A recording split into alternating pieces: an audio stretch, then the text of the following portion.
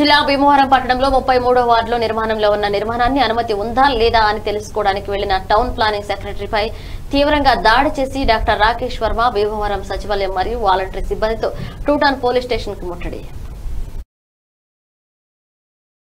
పురపాలక సంఘంలో వార్డు సచివాలయంలో ప్లానింగ్ సెక్రటరీగా నా విధులు నిర్వహిస్తున్నానండి.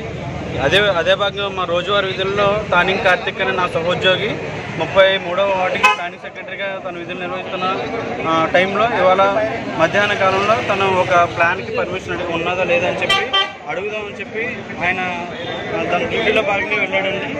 వెళ్ళిన తర్వాత ఏం జరిగిందంటే అక్కడ అక్కడ బిల్డింగ్ ఓనర్స్ ఎవరైతే ఉన్నారో వాళ్ళు వాళ్ళు వచ్చారండి. వచ్చి ఏమి మాట్లాడకుండానే అసలు విషయం ఏమీ తెలుసుకోకుండానే ముందస్తుగా వెళ్ళిపోయి తన కాలర్ పట్టుకొని తన్ని తన దవడల మీద విపరీతంగా కొట్టి తన చొక్కాన చింపి నేను ఎంప్లాయ్ అని చెప్పి చూపించే లోపల ఆ ఐడి కార్డును కూడా వాళ్ళు విసిరేసి విసిరేసిన దాని విసిరేసి కూడా నువ్వెవరని చెప్పిందని పలు దుర్భాషలు అనేది ఒక సాధారణ మనిషి వినకుండా మాటలని అతని అని ఒక ఎంప్లాయీకి ఇవ్వాల్సిన విలువ కూడా అతను ఇవ్వకుండా ఆ విచక్షణారహితం అతనికి దాడి జరిపారండి.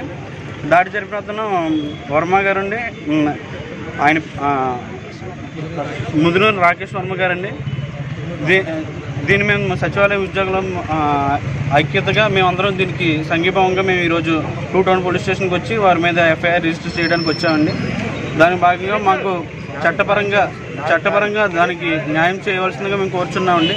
మాకు మేము వారి మీద దౌర్జన్యానికి కానీ ఎటువంటి కానీ వారితో క్షమాపణలు కానీ మేము మేము కోరుకోవట్లేదండి. మేము చట్టపరంగా మేము విధులు నిర్వహిస్తున్నప్పుడు మా మీద దాడి చేసిన దానికి మా ఉద్యోగ ధర్మాన్ని మేము నిర్వర్తిస్తుండగా వారు మా మీద చేసిన దాడికి ఈ సచివాలయ వ్యవస్థ మీద దాడికి మీరు పరిగణించాలని దాని మీదకి ఉద్యోగులు ప్రభుత్వ ఉద్యోగులకి మీకు కావాల్సిన భద్రత పోలీసు వారిని కూడా కల్పించాలని దా వారి మీద తగు చర్యలు తీసుకుని ఇటువంటివి మళ్ళీ పునరుద్ధ పునరుద్ధం కాకుండా మీరు చూసుకోవాలని చెప్పి మేము మా మనవండి.